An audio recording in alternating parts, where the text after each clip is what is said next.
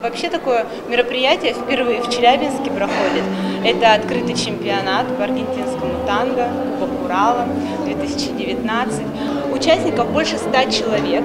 А, Это достаточно большое количество. Съехались участники из таких городов, как Магнитогорск, Екатеринбург, Уфа, Пермь, Иманжелинск, а, в общем, у нас 10 городов, с которых приехали участники.